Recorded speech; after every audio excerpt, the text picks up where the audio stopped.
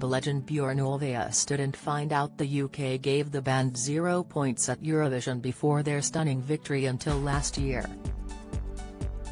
Björn, Agneta Fältskog, Benny Andersson, and Anni-Frid Lyngstad won the Singing Spectacular in 1974 with their rendition of Waterloo for Sweden, but it was no thanks to the UK, which didn't award them any points.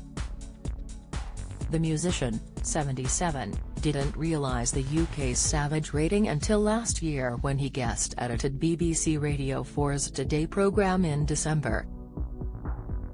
Speaking on This Morning, Björn told Philip Schofield and Rochelle Humes, who is standing in for Holly Willoughby, I only learnt that actually when I was guest editor at Radio 4 New Year's Eve or the day before.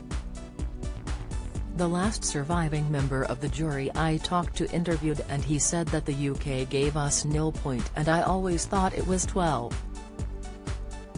Speaking about his memories of Eurovision, which is being held next month in Liverpool, Björn said, I remember funnily enough the shuttle bus from the hotel to the actual arena where my outfit was so tight, I couldn't sit down, I was slightly overweight. But then I also remembered walking up and down the corridor during the voting and suddenly Benny shouting oh we've won.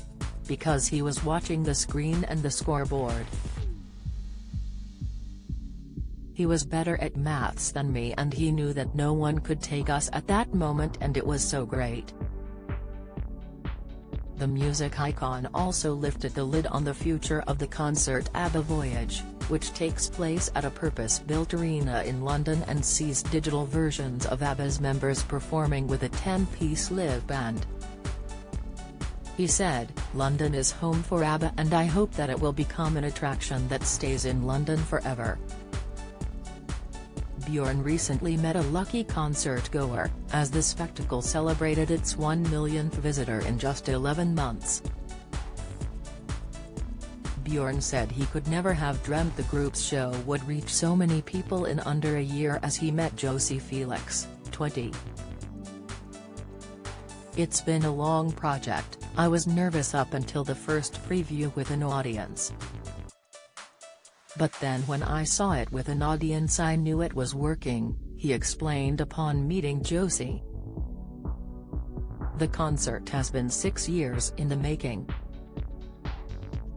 To create their digital selves, the band performed in motion capture suits for five weeks while 160 cameras scanned their body movement and facial expressions.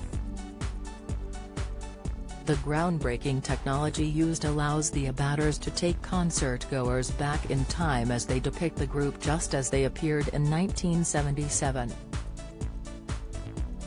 Speaking on This Morning, Björn dismissed the idea the concert could go on tour, but said you can build replicas and we are looking at North America and Asia at the moment so quite possibly, there will be replicas. This will be the original,